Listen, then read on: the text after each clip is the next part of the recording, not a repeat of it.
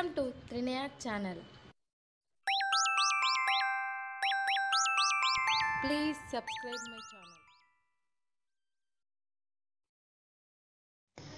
CM నుంచి పిలుపు కోసం ఉద్యోగ సంఘాల నాయకులు ఎదురు చూస్తున్నారు ఉద్యోగుల సమస్యల పరిష్కారం కోసం ఏ క్షణమైనా ఫోన్ రావచ్చని ఆశగా ఉన్నారు. ఈ నెల పదిన సీఎం కేసీఆర్ టీఎన్జీఓ టీజీఓ సంఘాల నేతలను ప్రగతి భవన్కు పిలిపించుకొని లంచ్ ఇచ్చారు. ఆ సమయంలో సీఎం మాట్లాడుతూ ఇప్పుడు ఏ హామీ ఇచ్చినా ఎన్నికల కోడ్ పరిధిలోకి వస్తుంది. హుజూర్ నగర్ పోలింగ్ ముగిసిన తర్వాత కలుద్దాం అని అన్నట్టు సంఘాల నాయకులు అప్పట్లో తెలిపారు.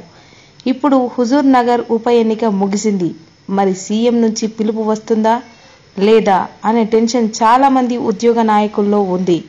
ఏడాదిన్నరగా ఉద్యోగ సంఘాల నేతలకు సీఎం అపాయింట్మెంట్ ఇవ్వలేదు. కలిసేందుకు వాళ్ళు చాలాసార్లు ప్రయత్నించినా లాభం లేకుండా పోయింది. కానీ ఈ నెల పదిన ఉన్నట్టుండి సీఎంఓ నుండి ఫోన్ రావడంతో టీఎన్జీఓ టీజీఓ సంఘాల నేతలు సీఎం వద్దకు వెళ్ళారు. ఆర్టీసీ కార్మికుల సమ్మె నేపథ్యంలో ఆ పిలుపు వచ్చినట్లు అప్పట్లో విమర్శలు వచ్చాయి.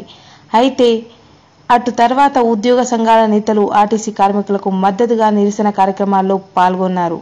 ఆర్టీసీ కార్మికులకు మద్దతు ఇచ్చినందున ఉద్యోగ సంఘాలపై ప్రభుత్వ పెద్దలు ఆగ్రహంగా ఉన్నట్టు ఓ సీనియర్ ఆఫీసర్ తెలిపారు. ఇలాంటి పరిణామాల నేపథ్యంలో ప్రగతి భవన్ నుంచి పిలుపు ఇప్పట్లో రావడం అంత తేలిక కాదని సదరు ఆఫీసర్ అభిప్రాయపడ్డారు.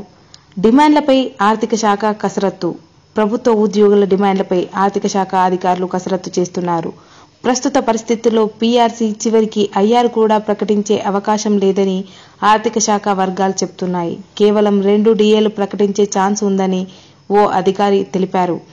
ఇక టీఆర్ఎస్ ఎన్నికల హామీ మేరకు ఉద్యోగుల పదవీ విరమణ వయసును యాభై ఎనిమిది నుంచి అరవై ఏండ్లకు పెంచే అవకాశం ఉందని చెప్తున్నారు.